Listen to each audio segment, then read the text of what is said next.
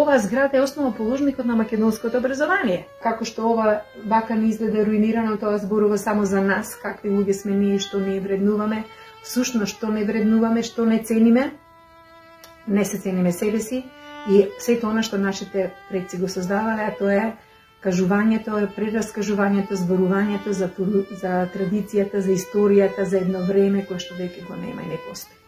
А овде, во овој наш подвис, се збрала историјата на образованието на македонски јазик како длабок корен на нашето минато, на нашата сегашност и на нашата иднина. Од страна на државата до сега не се преземе никакви мерки за негово реновирање или санирање.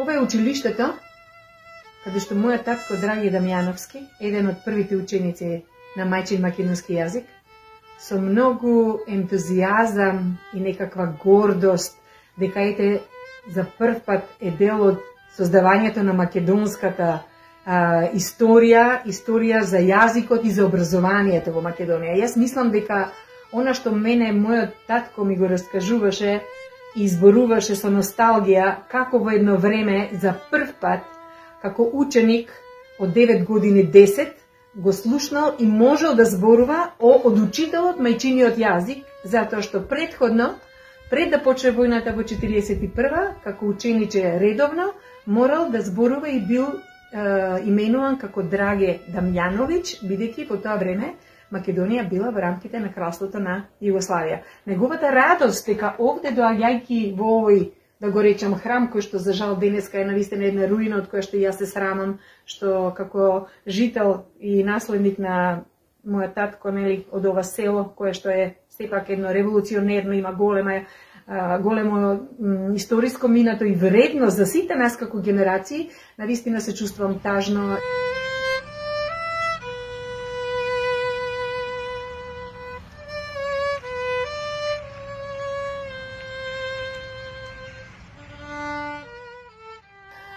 Како што ова вака не изгледа руинирано, тоа зборува само за нас, какви луѓе сме ние што не вреднуваме, сушно што не вреднуваме, што не цениме, не се цениме себе си и сето она што нашите предци го создавале, а тоа е кажувањето, прераскажувањето, зборувањето за, за традицијата, за историјата, за едно време кое што веќе го нема и не постои.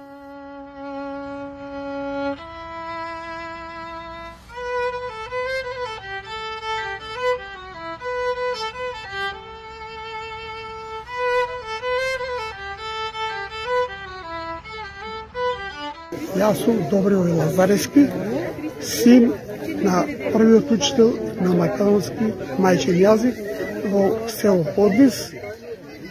Сега се раѓаме тука пред училиштето, каде прво да почнува да работи на мајчин македонски јазик. Училиште кое е руинирано и оштетено од повеќе страни, од страна на државата до сега не се преземе никакви мерки за негово реновирање или санирање. Ова е многу битно за најмладите, затоа што е историски културен споменик.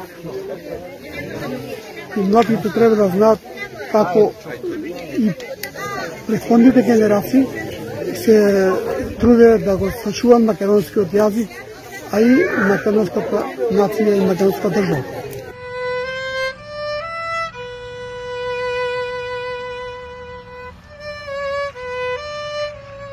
А овде, во овој наш подвис, се збрала историјата на образованието на македонски јазик како длабок корен на нашето минато, на нашата сегашност и на нашата иднина.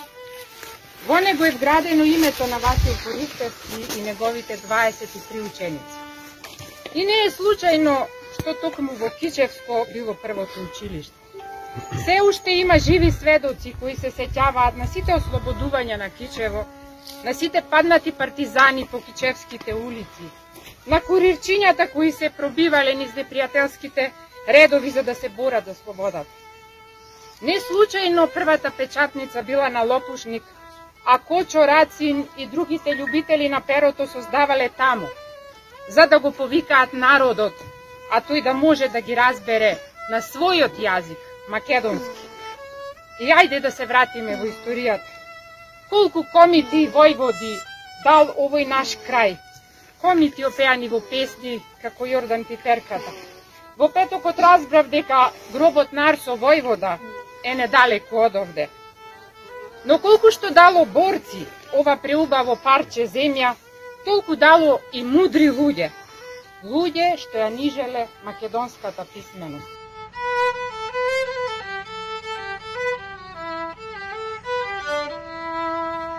Првиот час, мислам дека мојот татко како што ми раскажуваше, биле околу 20 на деца од селото, а, она што за нив како деца било, бидејќи сепак било воена, не, значи воена година, каде што нели фашистичките земји заедно со нивните помагатели овде воспоставувале окупаторска власт, а знаеме дека партизаните биле тие добрите момци кои што се бореле против фашистите.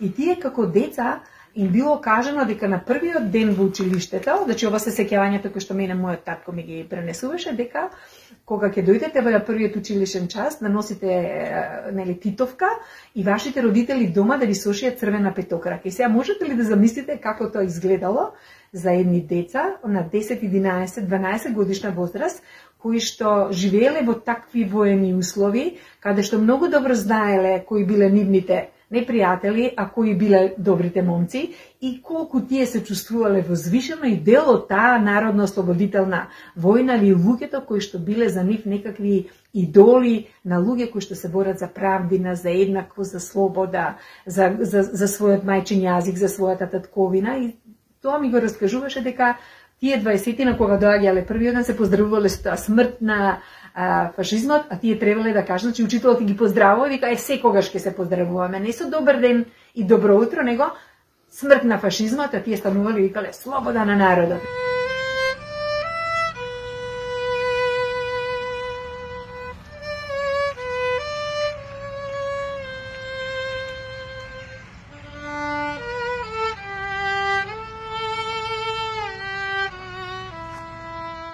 Отворањето на на македонските училишта на слободните територии не само што им ја пружила можноста на македонците да ги добијат првите јазични познавања на македонски, туку им овозможило да се запознаат со, своето историско минато, својата татковина, а преку предметот музичко воспитување да добијат елементарни, но доста драгоцени информации за македонскиот фолклор. По предметот историја на учениците главно им било раскажувано за Ноб но и за Илинден. Повикувањето на Илинденската, на Илинденското минато, стои дури во прогласот на за ослободувањето на, на Тичево, црвеното алово знаме на Илинденци. Додека по предметот музичко воспитување се пееле разни македонски револуционерни или народни песни, што децата ги прифаќале со големо одушевување.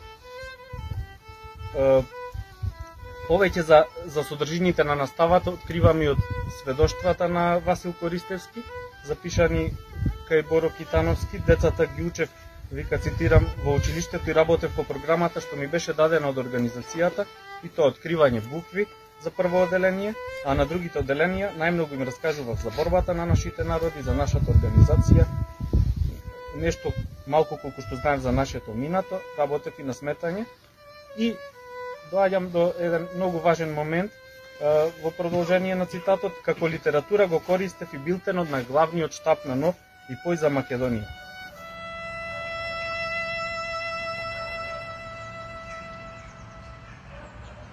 Ако сите ние, како луѓе прво, на оваа татковина, секој потекнува од негде од некој крај, каде што има споменици на култура, за жал ова е прогласено за споменик на културата.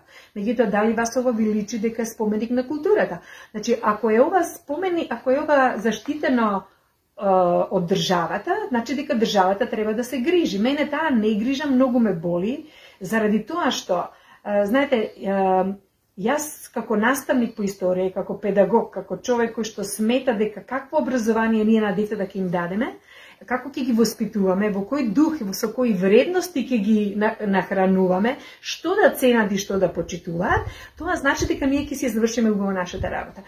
А, ние како зашто зашто сметав јас дека ова е многу важно, затоа што тука тука ни се корените, а тука можеме со гордост да кажеме, еве, тука ние го имаме својот јазик, јазикот на нашите предци, јазикот на баба ми, јазикот на прабаба ми, на во време, во едно време на постојано негирање, кога луѓето од страна многу со леснотија кажуваат, вие не сте тоа, вие сте Нели, тоа секој каква желба си ставил и мисли дека треба некој да биде, нас тоа така со леснотија ми го даваат, а ние за жал и уште повеќе го прифаќаме. Зошто? Затоа што не си го цениме и не си ја вреднуваме она што го имаме, а тоа е дека ние овде, овде некои деца во 43-та година и го зборувале јазикот на некој пред 100 години и 200 години, кој што е македонски, за кој што нели цело време се грабаме и се бориме и мислам дека повеќе тоа го правиме само а, преку вербално, а, не го чувствуваме со душата, јас мислам дека ние одека ова треба да го чувствуваме со душата, јас го чувствувам, не само заради тоа што мојот татко потекнал и мојот корон е од тука, туку и од една обштествена одговорност.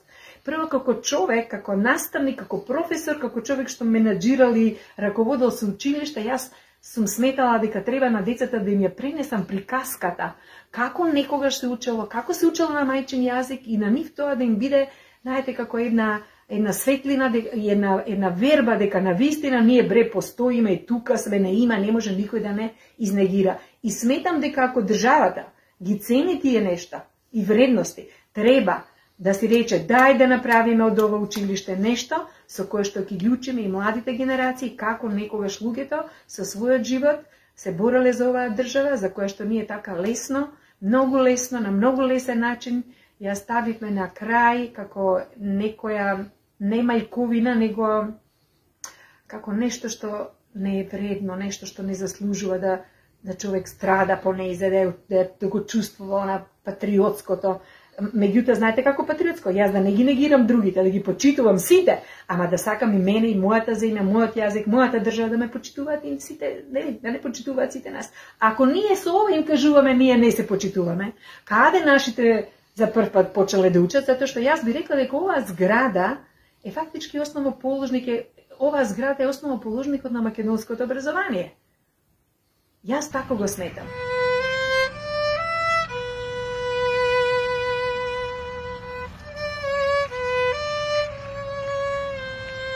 Децата слушнале дека ќе одат во училиште, татко ми вика, сите ние немавме Тажни, значи овие денешни деца треба да знаат дека некогаш децата доаѓале со дрвени сандачиња, ама дека биле полни со елан, имале љубов да дојде да учи, па поготово на својот јазик. Јас што кажувам денес често, ние све имаме, се имаме, сите услови. Ниту имаме љубопитност, ниту имаме жар, ниту имаме страст, ниту сакаме нешто да учиме, ниту па нешто да научиме. Тој кога ги пречекал, овдека сите биле доле во дворчето, што ова нели некогаш било двор, што е сега зарасната шума, и тој им рекол, Е, деца, од денеска ќе можете слободно овде да се зборувате на јазикот на вашите родители, на вашите баби и прабаби, како што си го зборувате дома, не како досега кога доаѓавте во училиште да зборувате на нели на српски јазик, затоа што тоа така било, нели? Меѓутоа слободно ќе си се изразувате на мајчин јазик и тоа нема никој да ви го оспори. И тие биле воодушевени. Значи за прв пат деца од денес ќе си го учиме нашиот мајчин македонски јазик. Тоа е на наставникот Василко Ристески.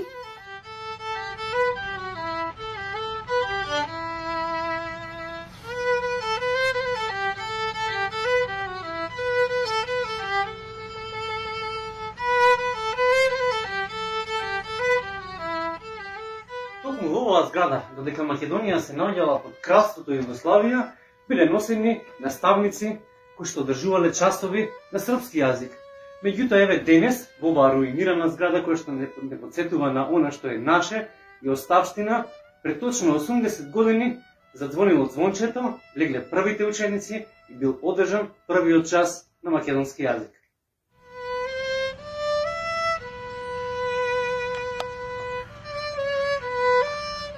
Си дадовме ветување дека организацијата на маршот еднаш годишно ќе ќе продолжи се додека не се реконструира училиштето и не стане музеј.